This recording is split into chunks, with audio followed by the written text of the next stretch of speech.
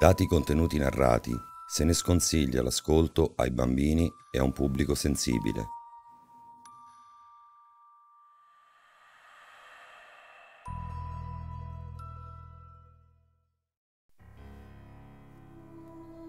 Il mondo è un posto duro. Non tutti possono permettersi una vita agiata o anche solo del cibo. Per questo rubi. Lo fai abbastanza raramente, quel poco che basta per poter tirare avanti. Questa è una giornata come le altre. Sei nel tuo territorio, hai bisogno di qualche bel colpo di fortuna. Quando improvvisamente vedi la tua preda.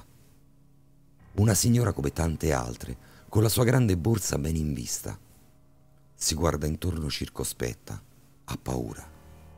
Probabilmente ha appena ritirato i soldi. Tutti sono poveri qui. Tutti devono stare attenti al loro denaro. Ma è sopravvivenza, quindi ognuno pensa a se stesso.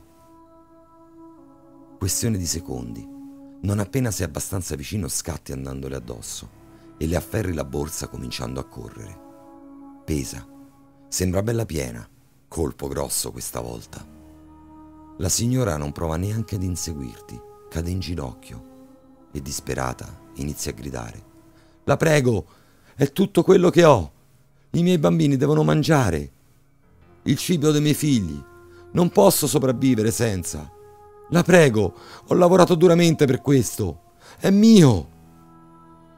Non puoi lasciarti condizionare. La fame supera i sensi di colpa.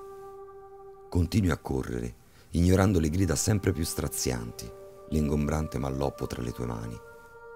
Quando sei abbastanza distante, finalmente ti fermi. Eh, è ora di controllare quanto hai guadagnato.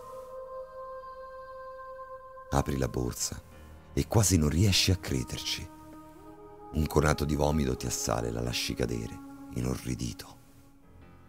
Varie parti di corpi umani, lacerati orribilmente, come strappati a mani nude, e prevalentemente di bambini, riempono completamente la borsa.